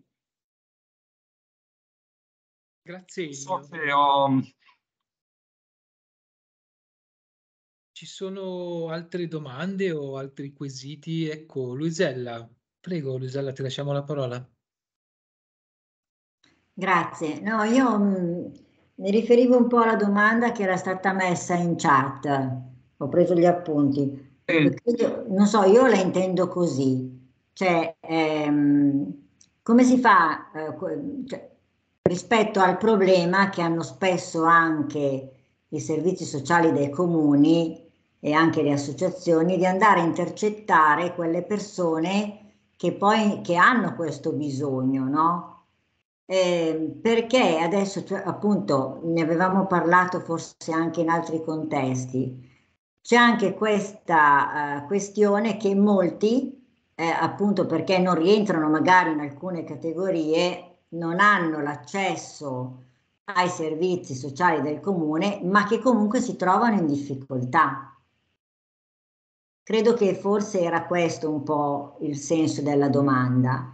Chi può intercettare quello che prima anche Ennio dicevi, i nuovi poveri, no? queste forme di povertà dovute anche, non so, alla perdita del lavoro, situazioni magari che prima non c'erano di alcune famiglie, ma che poi si sono invece evidenziate. Ecco, eh, magari anche su questo tema probabilmente eh, il ruolo delle associazioni, dei volontari, queste, delle persone che comunque vivono la comunità in questa dimensione eh, di, sì. come la nostra, nel terzo settore, possono andare a intercettare anche questa fascia di bisogno sommerso, chiamiamolo così, che è molto più diffuso, penso, rispetto alla percezione che noi ne abbiamo. Eh, dico una cosa per Oggi stavo tornando a casa, sono andata a fare due passi perché avevo voglia di sgranchirmi la testa, come dico io. E ho notato che all'uscita di scuola, era il momento che uscivano tutti di scuola, eh, ogni genitore, mamma così, eh, ha preso con grande velocità la strada di, di casa, no? prendono il bambino e vanno, vanno ognuno per sé. Eh, mi ha fatto un po', un po specie, no? Eh, perché c'è comunque una vita che ti porta a eh, quasi a, a evitare dei luoghi anche naturali dove poter scambiare due parole perché a volte spesso in contesti anche meno strutturati eh, e parlando e dialogando con, la, con l'altra mamma o col vicino, magari possono emergere anche questi tipi di bisogni, no? Eh, difficilmente una, una, che ha un bisogno va direttamente al centro d'ascolto, al, no, magari prima si confida con qualcuno. So che è un esempio banale, però giusto per parlare di relazioni, eh, mi sembrava, perché mi ha fatto un po', un po' impressione no? questa cosa di questo andarsene ognuno, tornare subito per conto suo a casa sua. Quindi ci sono anche pochi luoghi dove magari eh, queste relazioni eh, potrebbero essere coltivate, ecco, mi viene da dire. Grazie Luisella. Lascerei, visto che si sono prenotate un po' di persone, adesso la parola vado per ordine ad Anna Maria.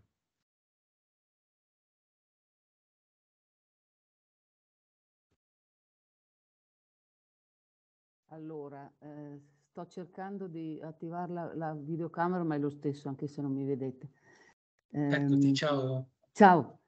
Ciao eh, volevo beh, intanto ringraziare ovviamente il dottore Ripamonti e mh, volevo focalizzare l'attenzione su quella bellissima frase i poveri sono inafferrabili, i poveri sono invisibili e aggiungerei eh, dobbiamo attivare i nostri occhi per vederli perché a volte c'è proprio la eh, difficoltà nel farsi vedere eh, e racconto una cosa che stamattina proprio è capitata. Ehm, abbiamo un emporio, eh, un emporio di solidarietà e le persone telefonano per prenotarsi. Però noi accettiamo anche, compatibilmente con la disponibilità di tempo, anche chi passa e vede aperto l'emporio. Però è successo questo, che ci ha mh, mm, mandato un messaggio una signora dicendo ma è possibile acquistare a prezzo agevolato?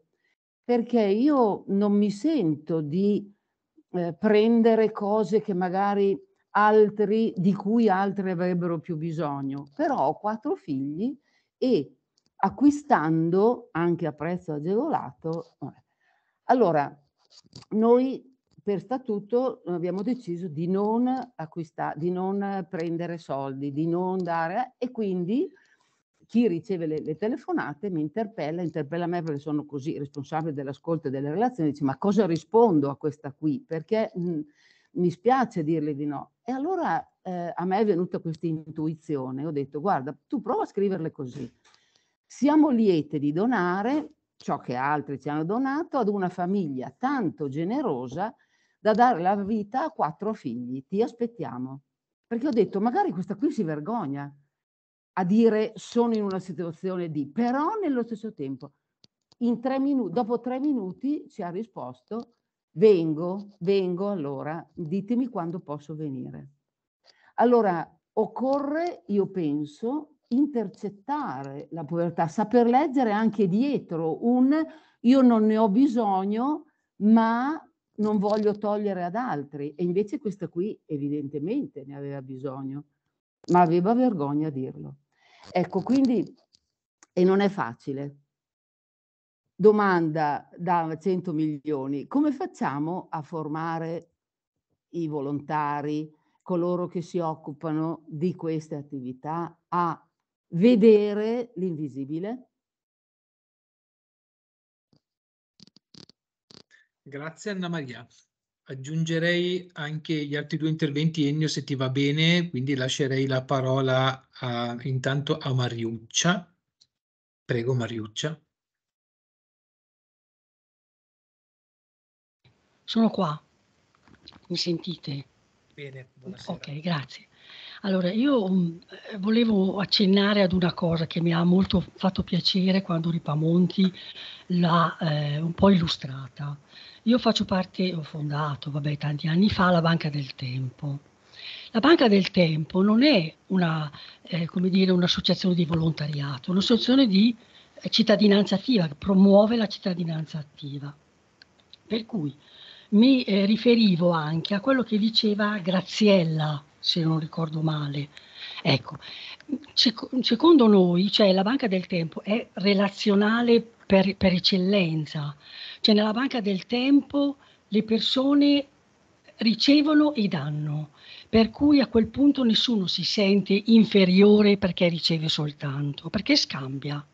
Noi sc- abbiamo scambiato anche con il, con il comune, abbiamo fatto il piedibus, abbiamo, dopo magari il comune certe volte è un po' sordo a questa, a questa possibilità, però cioè, noi, la nostra banca del tempo qui di Cremona, che siamo qui da tanto tempo, abbiamo proprio, eh, come dire, fondato tutto il nostro fare su, sul tempo, che è la cosa più preziosa che uno ha che regalarlo o darlo è molto difficile perché di questi tempi poi il tempo è, prezioso.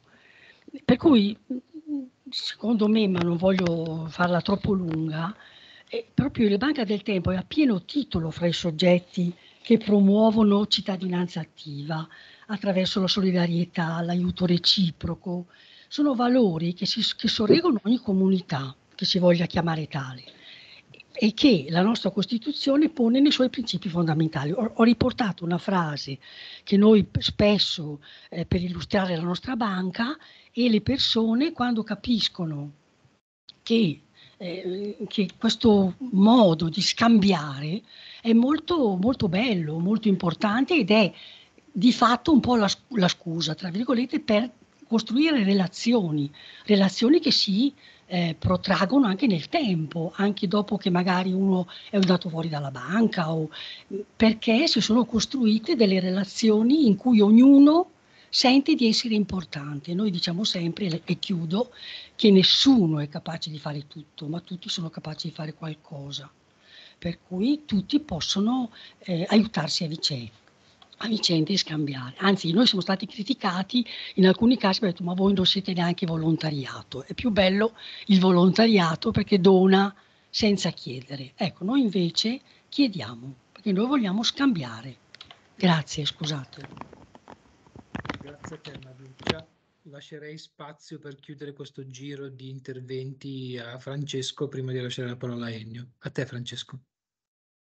Grazie, due cose svelte. La prima è che mi sembra di avere capito, e questo va già bene perché poi io, come anche alcuni colleghi sul territorio, eh, attiveremo dei laboratori di pratica su questo tema e quindi già l'aver capito bene, quindi grazie Ennio.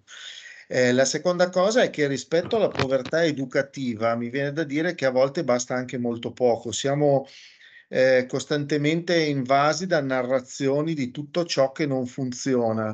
Eh, ieri sera abbiamo fatto la prova con alcune organizzazioni in un, un comune del territorio, la prova di racconto di, cin- di cinque storie di, di buon volontariato che racconteremo in pubblico è stato davvero un bel momento, tant'è che una persona che aveva già fatto la sua prova la volta precedente, una persona molto semplice, molto umile, ha dato questo rimando. Io in questo gruppo mi sento bene, sento raccontare delle storie che mi fanno stare bene. Ecco, credo che al di là de- dell'esito col pubblico che avremo, già questo sia una, un, un, grande esito. Cioè, a volte basta davvero poco concentrarsi sul, sulle tante cose che vanno e che funzionano e che spesso sono sommerse. Abbiamo raccolto nove storie, ma ce ne sarebbero tante altre che nessuno conosce e conosceva e sono storie che davvero fanno stare bene. E chissà quante ce ne sono, ma non solo in quel comune, anche in tutti i vostri. Grazie Francesco. Ennio, ti, ti lasciamo la parola tante le suggestioni in questi quattro interventi, per cui ti rilascio la parola a te.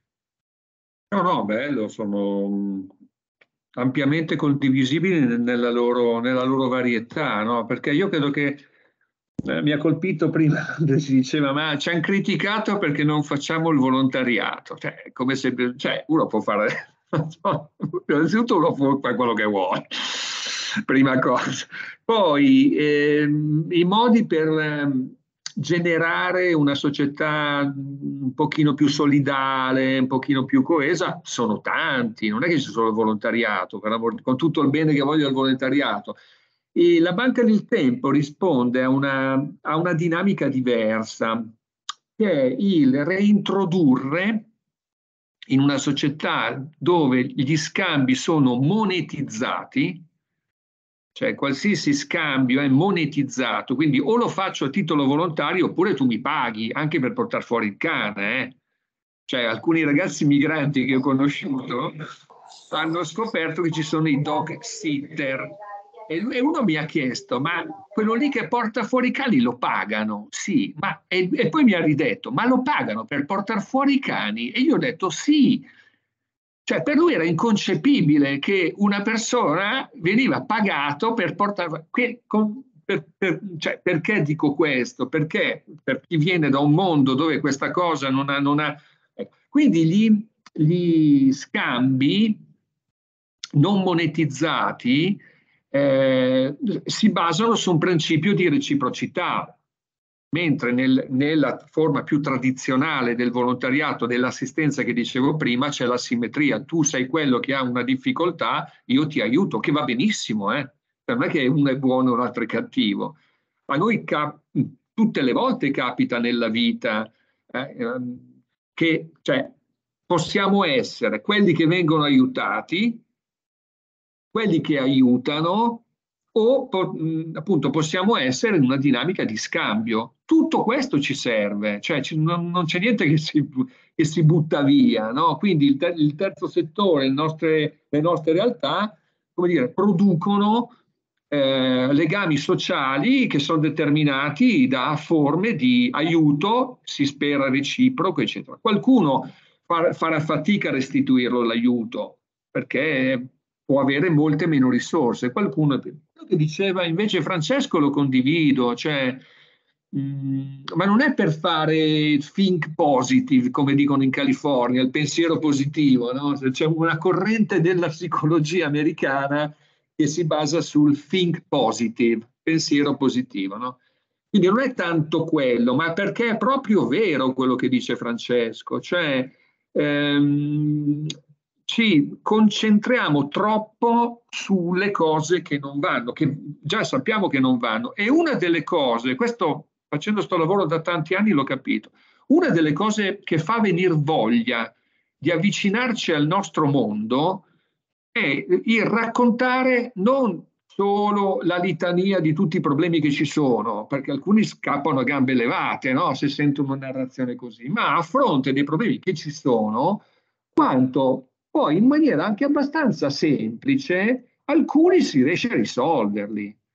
Cioè questa cosa qui che può essere banale eh, ah, è, è in, proprio in psicologia sociale è, è, proprio chiamato contagio sociale positivo. Cioè io entro lì e se, se io sento quel signore lì che racconta e dice ma io qua sto bene, eh, mi piace questa cosa qui, mi piace venire qui, ecco, credo che il nostro mondo è un mondo che eh, a volte da fuori viene visto, io me ne accorgo parlando con tante persone, a volte viene visto come molto più grigio, serioso ehm, di quanto è, perché poi alla fine è anche un mondo molto, molto piacevole e divertente. Quello che diceva Luisella è vero, cioè l'enfasi della privacy è, è proprio un, la cultura dell'appartamento come appartarsi e della privacy come isolarsi genera solitudine. Eh?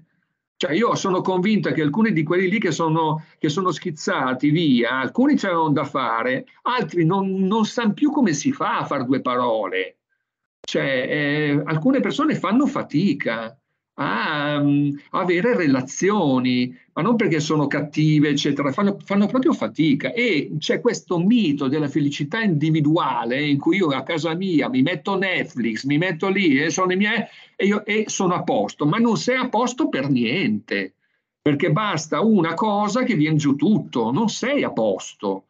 Ecco, quindi um, queste cose qua, che cosa facciamo noi? Noi credo, oltre che fare servizi, eccetera, proviamo a seminare, a coltivare eh, dei contesti micro-sociali in cui ci sono un po' più di relazioni, ci sono un po' più di relazioni non monetarie, cioè non regolate dal mercato.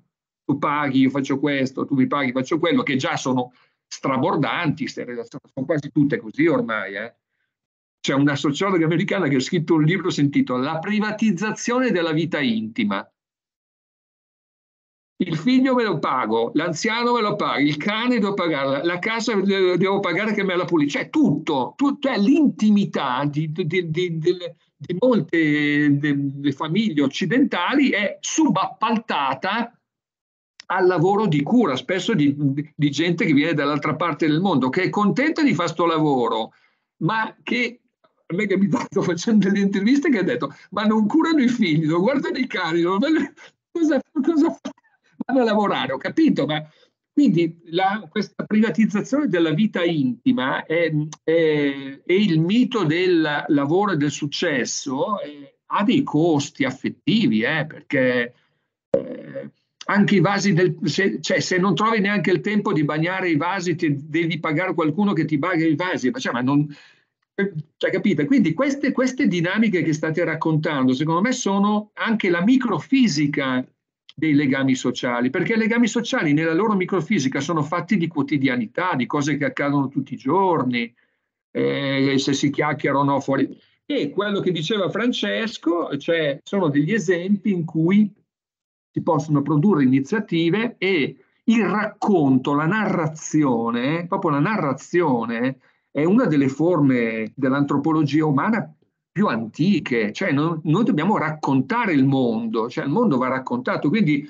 trovo che la narrazione di come è andata bene quella cosa lì, di quel ragazzo che ce l'ha fatta, di quella famiglia, non è tanto quello, una, una sorta, cioè non è il Corriere buone, buone notizie, va bene, ma è anche proprio un evento sociale che produce meccanismi di contagio sociale positivo. Io in questo credo credo tantissimo. E le persone si avvicinano perché ne hanno voglia, non tutte, ma molte ne hanno voglia. Eh. Cioè, tutti hanno voglia di star meglio, eh. non è che... Ecco, quindi credo che i vostri spunti, quello che ci siamo detti, siano ecco, come rendere visibile l'invisibile. Concludo allora, secondo me in, in, più modi. Un modo è quello che è stato detto, cioè formare le persone, magari accorgersi un po' di più e a leggere una relazione non solo sulla base dei bisogni e dei problemi, eccetera.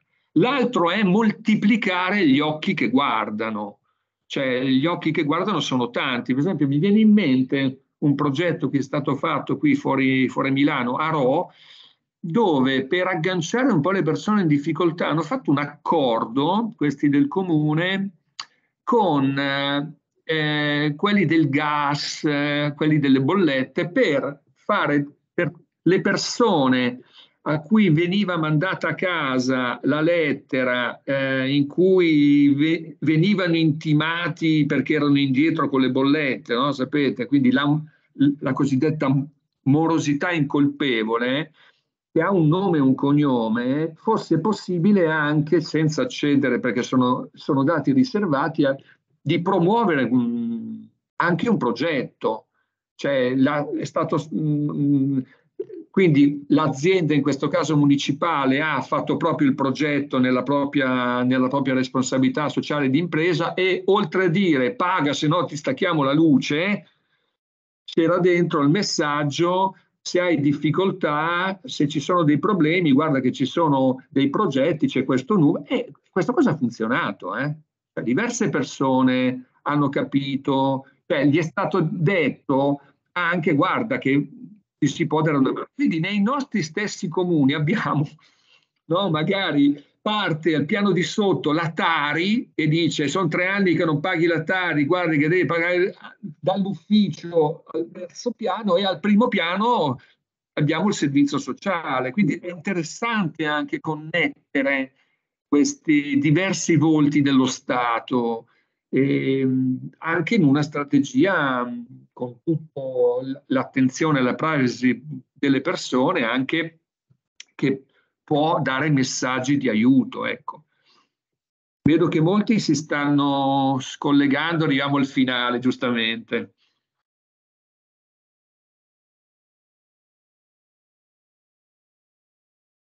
Lorenzo, sei muto. Scusatemi, sì, sì, scusate, scusate. Direi allora a questo punto, se non ci sono altri interventi, direi che possiamo andare a chiusura. Per cui ringraziamo tanto Ennio, grazie Ennio di questa tua ennesima collaborazione con noi all'interno dei nostri momenti di formazione di comunità. Potrebbe essere che ti, ti richiederemo ancora di poter intervenire all'interno di altri incontri. Vi ricordo che a breve potrete riaccedere alla visione del video sia attraverso il nostro sito internet che eh, attraverso la nostra pagina di YouTube e che sicuramente entro l'estate, orientativamente verso la fine di maggio e i primi di giugno, organizzeremo un secondo incontro di formazione di comunità attorno ai temi della giustizia riparativa o utilizzando un termine un po' più in voga della giustizia di comunità. Uh, per cui non mi resta che, che salutarvi e ringraziarvi della partecipazione e dei contributi che ci avete messo a disposizione e vi auguriamo una buona serata. A presto e grazie ancora. Ciao a tutti e a tutti. Buonasera a tutti. Grazie, grazie, a tutti. Saluti, grazie. Io, io rinnovo l'invito eh, quando verremo sui territori, voglio vedervi a tu per tu. grazie, grazie, grazie, a tutti. Grazie, Buona grazie cena. a tutti. Buona cena. A presto. Ciao Ennio, grazie. Ciao, Grazie, ciao. Ciao, arrivederci. Ciao Ennio, grazie. Ciao Igno, grazie mille. Bellissimi spunti. Mm. È andato. Ci manda anche le slide Maria poi, Lorenzo. Sì, sì, certo. Le abbiamo già perché prima nel dubbio che, che non riuscisse a condividerle me le ha mandate, per cui le abbiamo già salvate, sì. Mm. Va bene carissimi. Buona Buona serata a tutti. E grazie. A presto. Grazie. Ciao. Sì. Ciao. Ciao, ciao, ciao. Ciao. Ciao. Ah, guarda che c'è anche Ah, Sergio. la registrazione, la Ciao registrazione. Sergio. Sì, Paola la